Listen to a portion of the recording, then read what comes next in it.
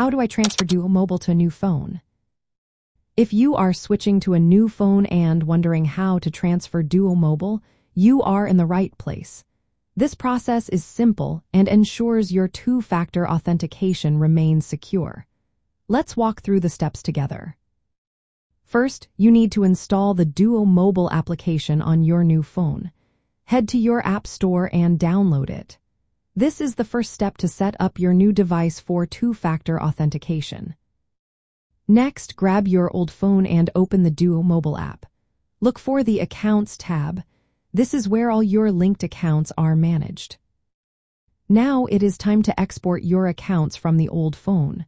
Within the account details, tap on Device Options and select Export Accounts. Follow the on-screen instructions. This will generate a QR code or a unique link that you will need for the transfer. On your new phone, open the Duo Mobile app again. Tap on Add Account and scan the QR code displayed on your old phone.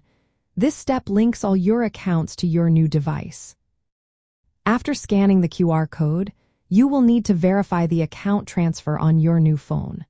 You might receive a notification on your old phone that you will need to approve to complete the migration. If your new phone is replacing the old one, you can remove the old device from your Duo account. To do this, access your account settings, find the old device, and delete it.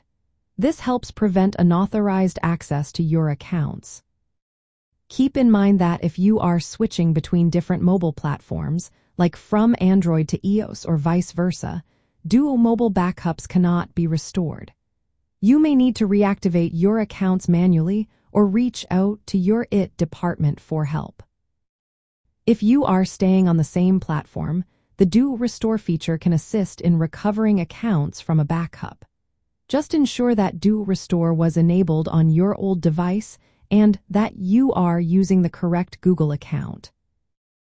Transferring Duo Mobile to a new phone is a straightforward process that keeps your account secure. By following these steps, you can ensure that your two-factor authentication settings remains intact, safeguarding your data from unauthorized access.